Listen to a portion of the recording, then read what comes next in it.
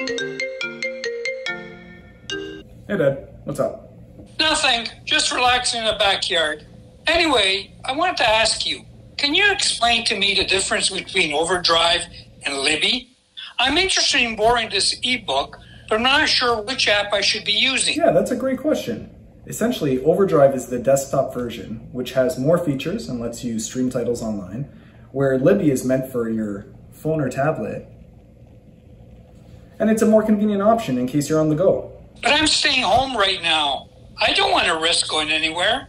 I'm not saying you have to go anywhere. I'm just saying that if you're walking around the house, maybe you're doing some cleaning, outside doing some gardening, you'd probably prefer Libby because it's on the go. But if you're near a computer or you just wanted more features in general, then you'd want to choose Overdrive. Oh, I see. And that's why you download the title on your phone with Libby, since you can walk around with it. Otherwise, you can just stream it using Overdrive. Yeah, exactly. You get it. I get it now. Libby is jelly and Overdrive is jam. Uh, what's that? Well, I mean, jelly has a flavor, but jam offers more substance. That's a unique comparison, but sure, that makes sense, yeah. Or Libby is like. Or Libby is like a memoir, and Overdrive is an autobiography. Sure. Yeah, that's great. That's great. That also makes sense. Uh, I'm just glad that you You see, a memoir is only about a specific aspect, Yeah, okay, you're a master. but an autobiography covers their whole life. Hi everyone, this is Vince from Vaughan Public Libraries. If you're looking for quick and easy ways to access ebooks and audiobooks from VPL, then you're going to love the Overdrive and Libby application. To give us a closer look, my colleague Alicia is here to show us around.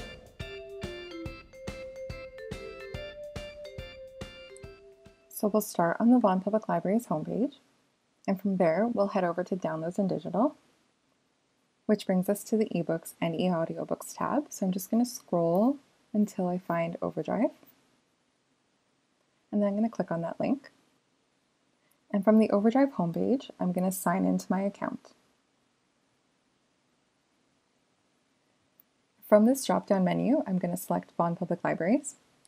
Now you can use your VPL account to access Markham Public Library and Richmond Hill Public Library collections, but for now I'm going to stick with Vaughan.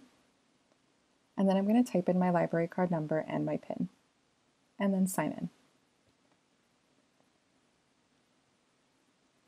So from the homepage, I can search for a specific title using the search bar up at the top, or I can browse for available titles by scrolling this page.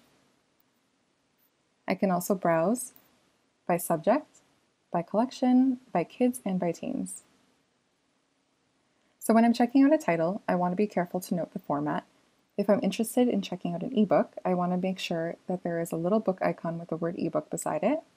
And if I'm looking for an e-audiobook, I'm looking for a headphone symbol and the word audiobook beside it. I also want to be sure that the title is currently available to borrow, so I'm going to look for the green banner above the image that says available. I could check out the title from this page by clicking Borrow, or I can click on the image to get a little bit more information. I'm going to go ahead and borrow this one, and my loan period is set for 21 days. I'm going to borrow. And now my options are to download or to read now in browser. And I'm going to go over these options a little bit more later, so I'm going to close that. Now to place a hold, we're going to look for a title that is not currently available. So from this white banner, I can see that there is a wait list, and I could place myself on that wait list by placing a hold here, or I can click and get a little bit more information. So I can see that the wait time is about six weeks, and there's about six copies circulating. So if I were to place a hold, I would put myself in line for those copies. So now I'm ready to start reading. I'm going to go to my loans page. So from my account, you can get to your loans, but you can also get directly to your loans from this bookshelf icon right here.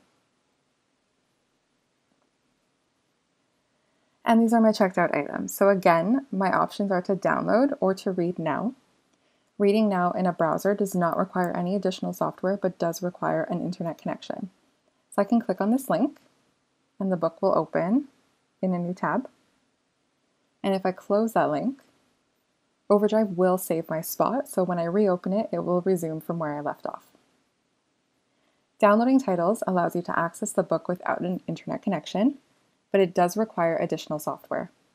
So to download, you will need to download Adobe Digital Editions, which is available for Mac and Windows. And you can find that from the Adobe website. You will also need to create an Adobe ID if you don't already have one. And again, that can be done from the Adobe website. So once your account is created and the program is installed, you'll need to authorize your computer. So you can do that by opening the Adobe Digital Editions program and going to Help and selecting Authorize Your Computer. And this is where you would type in your Adobe ID and your password. Now my mine is already authorized, so it won't let me do that. So once that's done, you're basically all good to go. So what you have to do is just go back to Overdrive and select Download, and it'll warn you about that. And then that should open automatically in Adobe Digital Editions. To download MP3 files for e-audiobooks, you'll need to install the Overdrive desktop app, which unfortunately is only available for Windows computers.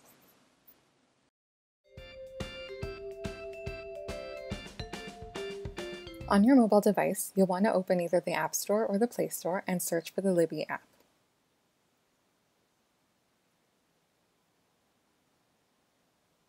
So I'm just going to install this.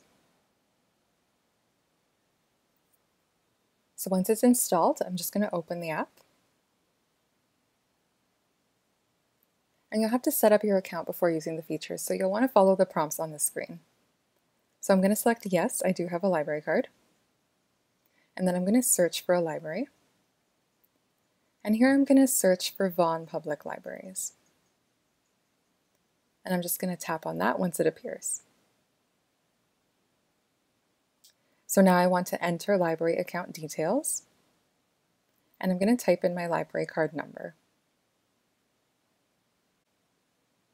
And then I'm going to tap next. And then I'll type in my PIN. And then I'll press sign in. And so there's my card and I'm just going to hit next. So once you're signed in, the app will bring you to the Vaughan Public Library's collection homepage. On the bottom of the screen, you should see two options, Library and Shelf. Library is where you'll find titles to check out, and Shelf is where you'll find your checked out items and your holds. So to check a title out, we'll go back to the library screen. Up at the top, you'll see a search bar, which allows you to search for specific titles or authors. You can browse by scrolling down the screen or by tapping Explore. You also have the option to set your preferences by format and by some other filters as well.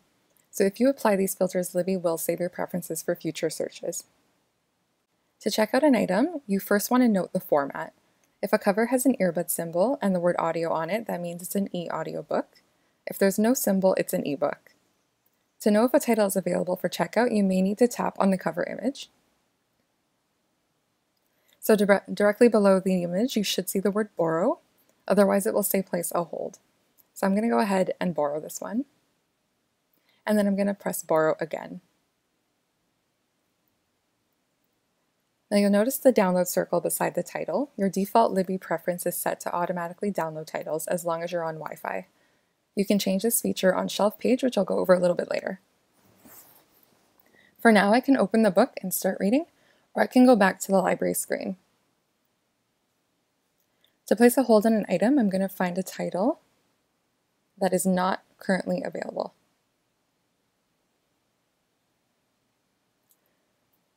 So I can place a hold directly from this screen, or I can tap on the image to get a little bit more information. So here I can see that the wait time is about 13 weeks for this title. So I'm going to go ahead and place a hold. And I have some more information here, and I'll place a hold again. And that's my confirmation there. So now let's have a look at the shelf page. So here I can see my checked out items, and I can find my holds by tapping on holds. I can start reading my loans by tapping on the image, or I can tap Open Book.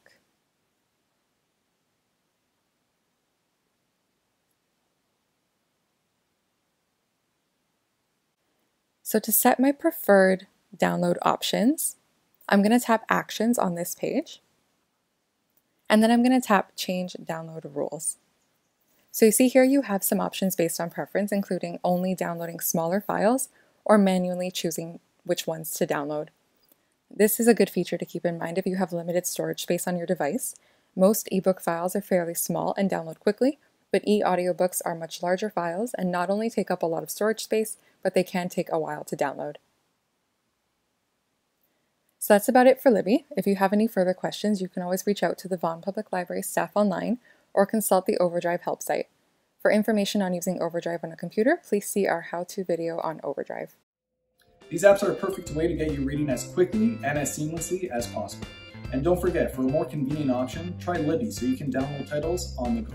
But if you're looking for direct streaming and more features, try Overdrive. If you enjoyed this video, make sure you hit the like button and subscribe. We're going to be creating more videos like this that can show you how apps can make your stay-at-home life so much easier. From everyone here at VPL, thanks for watching and stay safe.